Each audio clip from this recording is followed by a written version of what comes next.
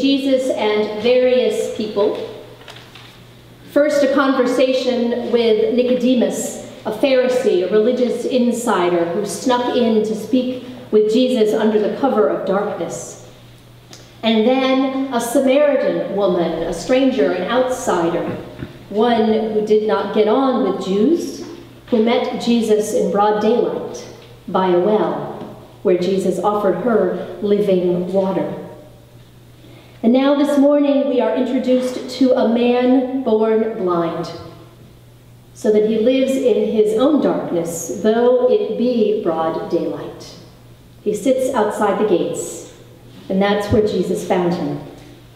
Let us hear the story in the man's own words.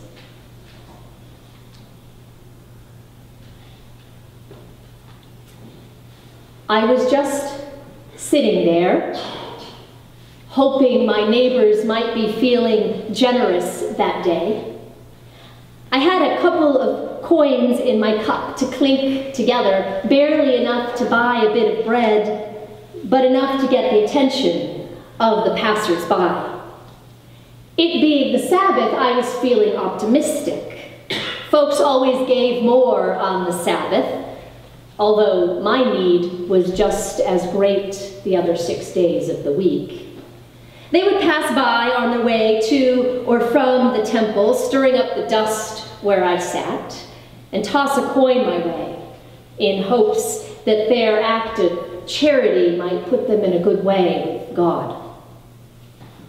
I often wished I could look those people in the eye. Wished I could stop them in their tracks with a piercing gaze. Because I wanted, more than anything else, for them to look at me.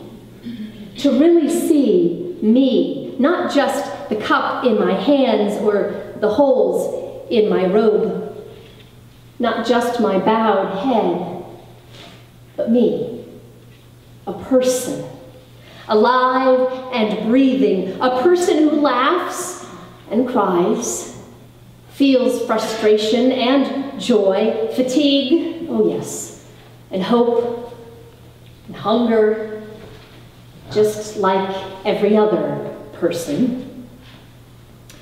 In the Torah, in the book of Genesis, it says that people are made in the image of God. Then God said, Let us make God, let us make humankind in our image, according to our own likeness. That's chapter 1, verse 26. I know, because I've listened from a distance as the scroll was being read in the temple. And I've wondered about that wondered whether it really meant some of us are made in God's image. It seems like that's what the Pharisees think. Otherwise, wouldn't they have been more inclined to notice me? I may not have been able to read Holy Scripture, but my hearing was just fine. I know what I heard. And so I wondered. I had plenty of time to wonder. I was born blind. I don't know why. It just happened that way. My parents say I was an otherwise healthy baby with a, a lusty cry and a, a big appetite. It's just my eyes that didn't work. Still, everyone assumed that it must have been something I did. Some terrible offense carried out against God while I was still being knit together in my mother's womb or some unspeakable offense committed by my parents. Honestly, I've never felt any more or less sinful than the next person. I just feel like me. So sometimes, when people ask me what I did to be blind, I ask them, well, what did you do to end up with eyes that see? It wasn't being blind that ruined me. It was how people judged me because of my blindness. I could have worked if only someone had given me the chance. My arms, my back, my legs, they're strong enough. I can haul water and push a cart. When I was little, I used to bake bread with my mother. I loved kneading the dough, the warm, silky feel of it under my fingers and palms, and the aroma as it baked. Ah, but who would buy bread from a blind baker? I am considered cursed. So there I sat with my begging cup, listening to my clinking coins, to the shuffling of sandals, to the, the bray of a donkey, the creaking of wagon wheels, the cry of vendors. When I heard a man speaking, somewhere off to my left, he spoke with authority. And I wondered whether he might be a visiting rabbi. I knew he was a stranger because I'd never heard his voice before, and I've been sitting in this town square long enough to recognize every distinctive voice. That's what got my attention. But then I realized he was speaking about me. And what he was saying was extraordinary that neither I nor my parents were responsible for my blindness, that God's works were being revealed in me. God's works in me. And for a moment, I wondered whether my hearing was going the way of my sight, because never before had I heard anyone suggest that I was anything but a broken and worthless sinner and then the man approached me. Got, got right down in the dirt next to me. He was so close I could feel his breath on my face. I could smell the sweat on his body. I heard his fingers scraping in the dirt. Heard him spit and then knead the dust, and all I could think was, he is breaking Sabbath law. Everyone knew that kneading, whether bread or dirt, was prohibited on the Sabbath. But before I could protest, before I could ask the man to please step away, lest I be accused along with him and banished from the temple grounds, he cupped my face between his calloused hands, hands of a laborer, I thought, a, a carpenter, maybe. So not a rabbi, after all? And rubbed the mud onto my eyelids. Now, I have been spat at. I have had dirt kicked in my face. But here was this man smearing dirt and spittle on my eyes, and I realized I couldn't remember the last time I had been touched like that. Touched at all, for that matter, by anyone other than my mother. His hands, they were firm and gentle, and his actions deliberate, so that I found I trusted this stranger implicitly. When he told me to go and wash in the pool of Siloam, I went without question. What happened next is indescribable. I found my way to the pool. I knelt down and washed away that mud that coated my eyelids, and when I stood, I was overwhelmed by a strange and unfamiliar sensation. A sensation that I realized with astonishment, with sight. I could see. I could see the pool of Siloam and the road and that braying donkey and the creaking wheels on the cart and my own cup abandoned on the ground a little way from where I stood. I could also see all those people walking to and from the temple. And I stumbled back to my cup, still disoriented by this new world of sight, and I looked all around for the stranger who had worked this wonder, but nowhere could I pick out his distinctive voice. Instead, I found myself surrounded by neighbors, neighbors even more bewildered than I at my newfound condition. Who are you? They asked. It's me, I said. It's still me. But they only looked at me with expressions that I soon came to recognize as disbelief and disdain. And then came the Pharisees, as baffled and frankly belligerent as the others. And no matter how many times I told them my tale, they could not seem to believe me. Don't you see? I said to them, He put mud on my eyes and He told me to wash, and now I see. Ironic that I should have my sight restored, only to be denied and dismissed yet again. Ironic that the one thing I could see most clearly was the very thing that remained somehow imperceptible to these religious officials that the man, rabbi, carpenter, I still didn't know which, and it hardly mattered, that that man was clearly a man of God, a prophet. I, say all of the Pharisees, but it's not entirely true.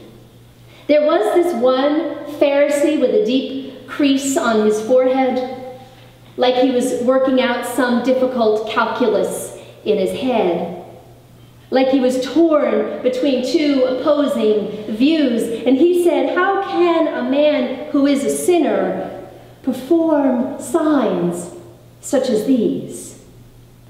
He asked it of the others, and I seized the opportunity to chime in. Exactly. Never once in the world's history has it been heard that anyone had their eyes opened by one such as this. If this man were not from God, he could do nothing.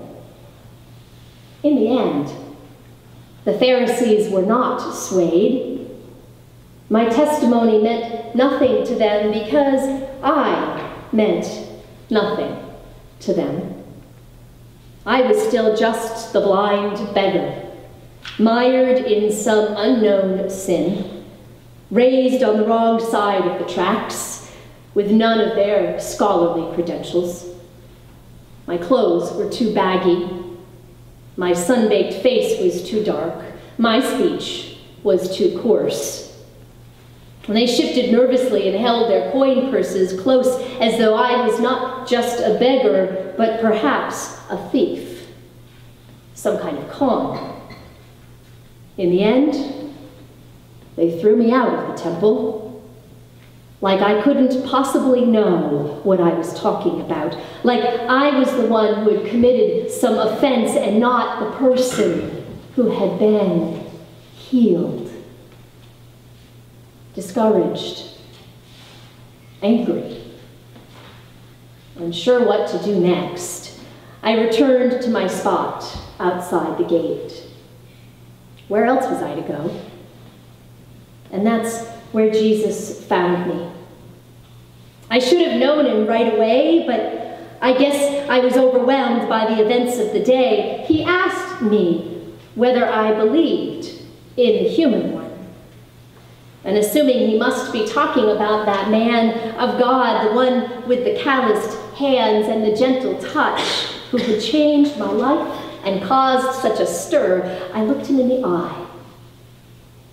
I looked him in the eye, and I said, Tell me, so that I may believe in him. And that's when it all clicked into place. The sound of his voice the powerful, tender look in his eyes, the smile.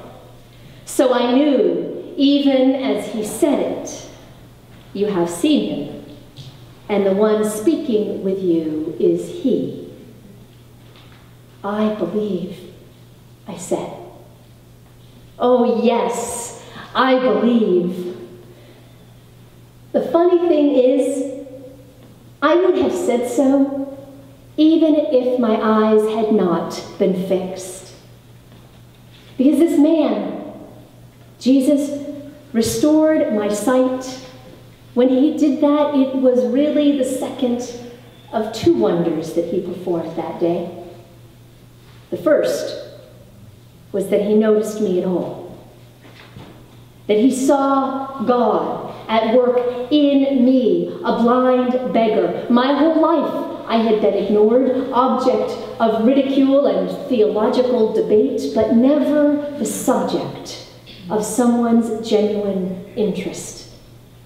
And then along came this man and told me what I had always suspected, but what I had longed to hear confirmed that the Spirit of God is in me, that I am whole and precious and always have been.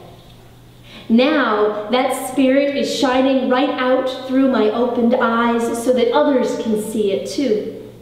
Now I can see all the other precious things and people in God's creation. Now I can look my neighbors in the eye. I can stop them in their tracks with my piercing gaze.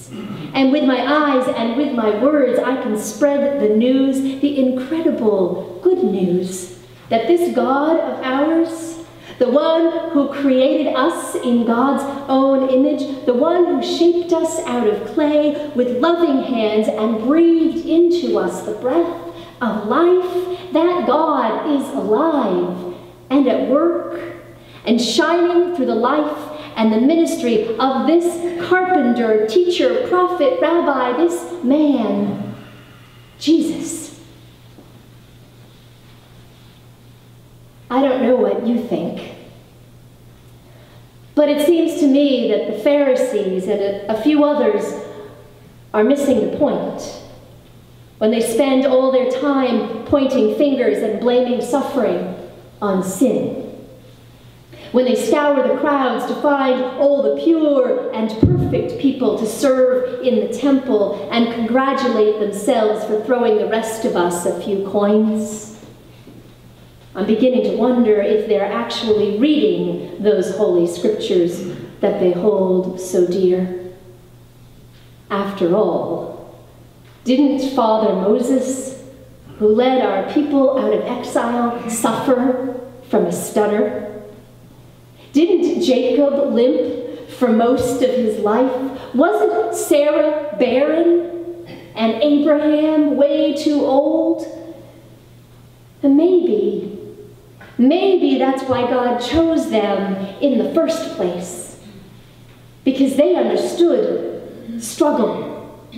Because they had cultivated strength and faith in the face of suffering and disappointment. Or maybe, just maybe, our own ideas about perfection are just completely off base. Maybe God who works through a blind beggar, works in all of us, rejoices in each of us just as we are, whole and precious. All I know is I was blind, and then Jesus saw me.